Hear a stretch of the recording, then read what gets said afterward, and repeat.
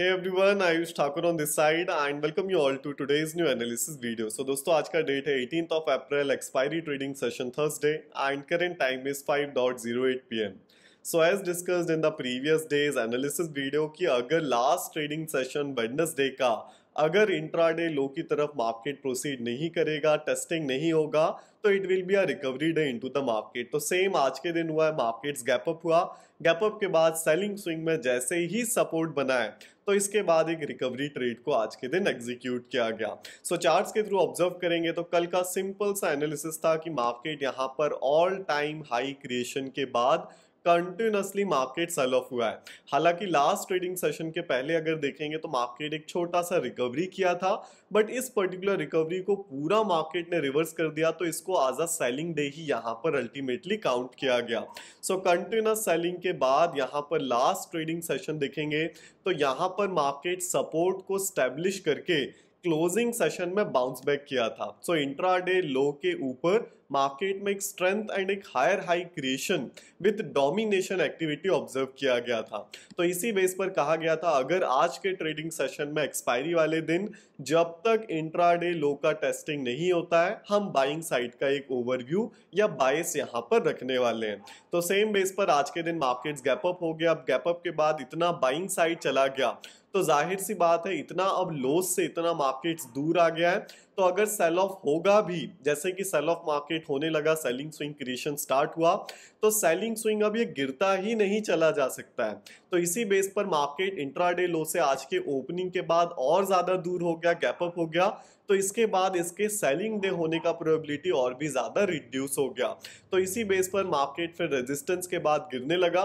तो selling swing में हमारा क्या ऑब्जर्वेशन था कि अगर इंट्रा डे लो टेस्टिंग नहीं होगा तो ये एक रिकवरी डे होगा बाइंग साइड का opportunity will be the best opportunity तो सेम आज के दिन हुआ है मार्केट सेल ऑफ़ हुआ तो सपोर्ट बनने पर फिर बाइंग साइड का पोजीशन एग्जीक्यूट किया गया है। तो सबसे पहला सपोर्ट आइडेंटिफिकेशन जो एक प्रिडिक्शन था कि मार्केट में सपोर्ट यहाँ पर कंटिन्यूसली अगर पैटर्न ब्रेक देखेंगे तो चार पाँच कैंडल सेलिंग साइड बनी है।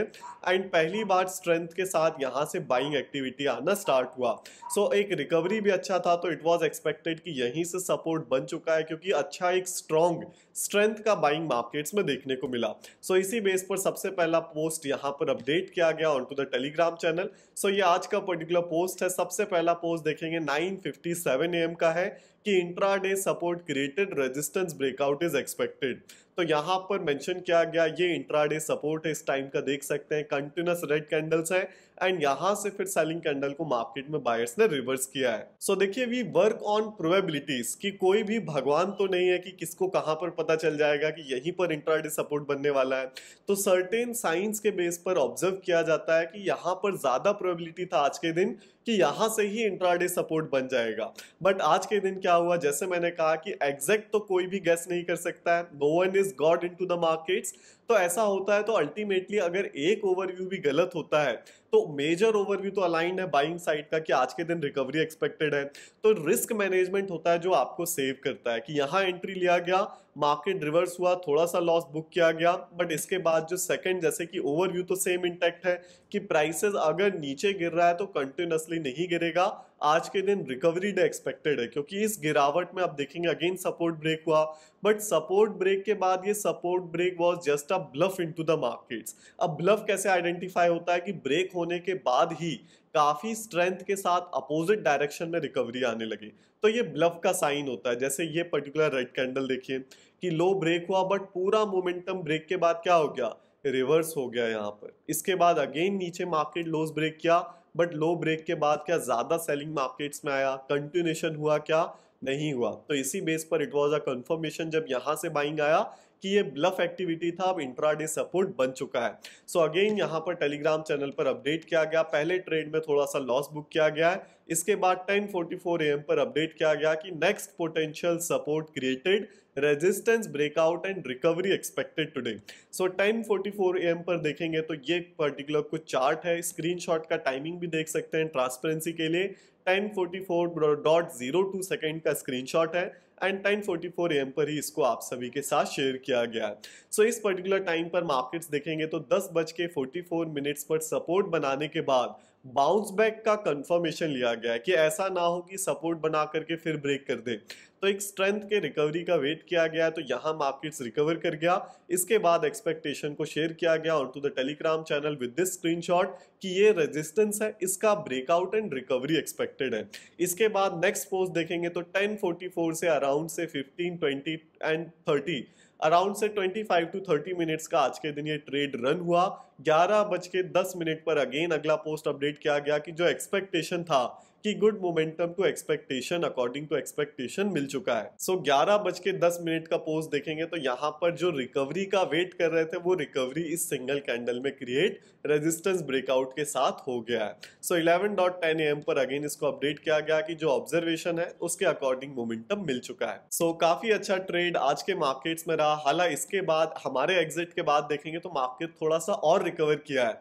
बट जैसे मैंने कहा हम वन रेशियो थ्री के रिस्क रिवॉर्ड को फॉलो करते हैं जैसे ही आता है तो उसके बेस पर ट्रेड को एग्जिट किया जाता है। तो अल्टीमेट गेम इज़ देखिए रिस्क मैनेजमेंट कि आप मुझे देखेंगे कि कई सर्टेन डेज़ होते हैं जहाँ पर मैं एक दिन पर दो ट्रेड्स भी ले लेता हूँ, अगर मेजर ओवरव्यू गलत ना हुआ हो। अगर ओवरव्यू गलत हो जाता है तो एक ट्रेड गलत गया, थोड़ा सा लॉस आया तो उसी में फिर कोई भी फर्दर ट्रेड नहीं लिया जाता है, क्योंकि जो हमारा एक्सपेक्टेशन है, जो मार्केट का ओवरऑल स्ट्रक्चर है, वो ही गलत हो जाता है। बट आज के केस में क्या था? स्ट्रक्चर अलाइन है कि गिरेगा तो सपोर्ट तक तो आया नहीं है।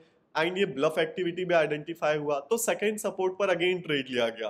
क्योंकि देखिए, जो ये सपोर्ट आइडेंटिफिकेशन है, ये हम based on price behaviour strength and buying selling activity या डोमिनेशन के बेस पर आइडेंटिफाई करते हैं। तो कुछ सर्टेन केस में, जैसे मैंने कहा no one is god into the markets की एग्जैक्ट सपोर्ट या रेजिस्टेंस वो हर बार आइडेंटिफाई कर पाए। बट जो एक्सपेक्टेशन है, जो हमारा लर्निंग है या जो कंसेप्ट है, उसके बेस पर मैक्सिमम टाइम तो सपोर्ट आइडेंटिफिकेशन करेक्ट होता है। बट कई केसेस ऐसे भी होंगे कि मेजर ओवरव्यू इंटैक्ट है बट मार्केट इतना अनसर्टेन है कि अनसर्टेनिटी में एक दो स्टॉप लॉस आपका जा सकता है।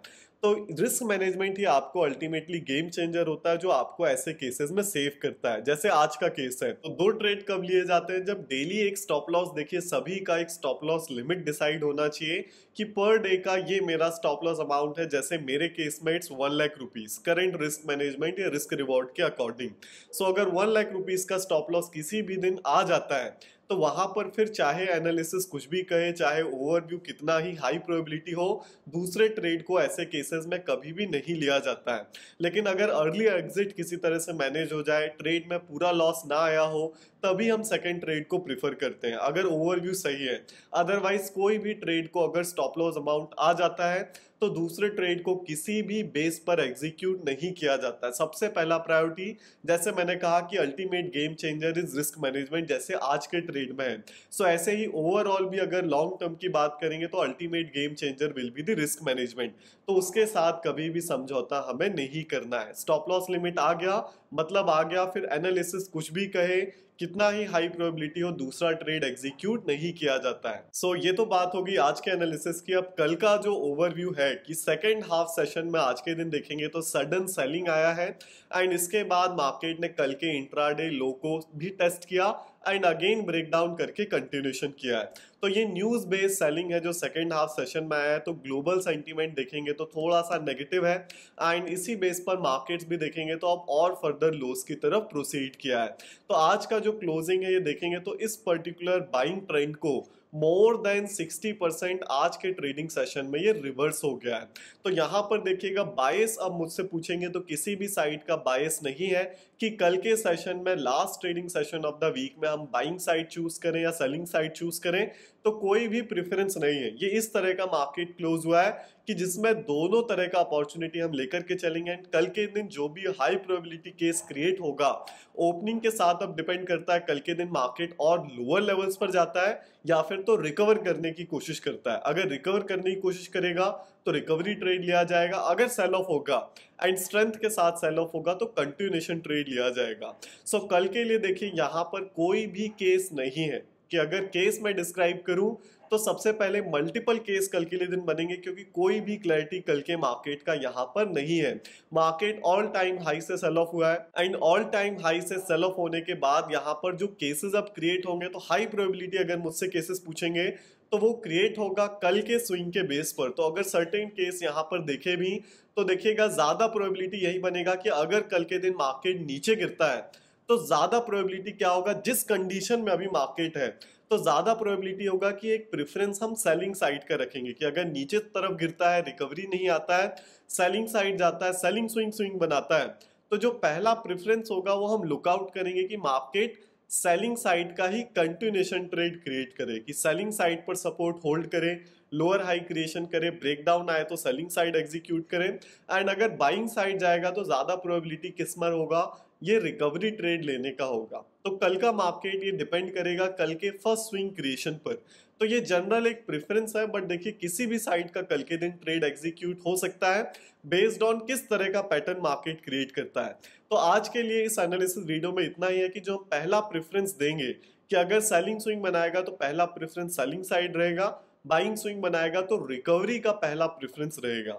सो so, यही जनरल आज का एनालिसिस अब इसके बाद कल के दिन प्रॉपर जो भी केसेस बनेंगे किस तरह से मार्केट देखिए रिस्पॉन्ड करता है गैप अप होता है गैप डाउन होता है क्या फर्दर क्या आज के दिन और कोई न्यूज़ भी आता है तो ये सारी मल्टीपल फैक्टर्स पर चीज़ें डिपेंड करने वाली हैं। सो so, कल के दिन भी according to the regular process अब इन दोनों केसेस में से कि जैसे ये तो जनरल प्रेफरेंस के लिए केस हो गया अब जो भी कल के दिन मार्केट एक्चुअल लाइव मार्केट में पैटर्न क्रिएट करेगा ग्लोबल क्यूज के अकॉर्डिंग या लाइव मार्केट में जो क्रिएशन है तो according to the regular process इसको भी यहाँ पर कल के दिन भी जो भी केस होगा उसको टेलीग्राम चैनल पर आप सभी के साथ आज की तरह शेयर किया जाएगा। So live market overview updates के लिए टेलीग्राम चैनल को ज्वाइन कर सकते हैं। इसका लिंक वीडियो के डिस्क्रिप्शन में दिया गया है। एंड कोर्सेज के साथ देखेंगे तो Telegram channel is free of cost twenty hour session के साथ सिक्स मंथ का टेलीग्राम चैनल अभी फ्री ऑफ़ कॉस्ट है। सिक्स डेज़ रिसेंट वेबिनार के साथ आपको वहाँ पर सिक्स मंथ का Telegram access free of cost है and fifty two hour session के आपके साथ आपको वहाँ पर वन ईयर का Telegram channel free of cost है। तो सारी चीज़ों का लिंक वीडियो के डिस्क्रिप्शन में दिया गया है। This was the video for today ज़रूर जाते जाते चैनल को सब्सक्राइब करें, जिससे आने वाली वीडियोज़ का अपडेट आपको मिलता रहे। So see all in the next video till date bye to all and से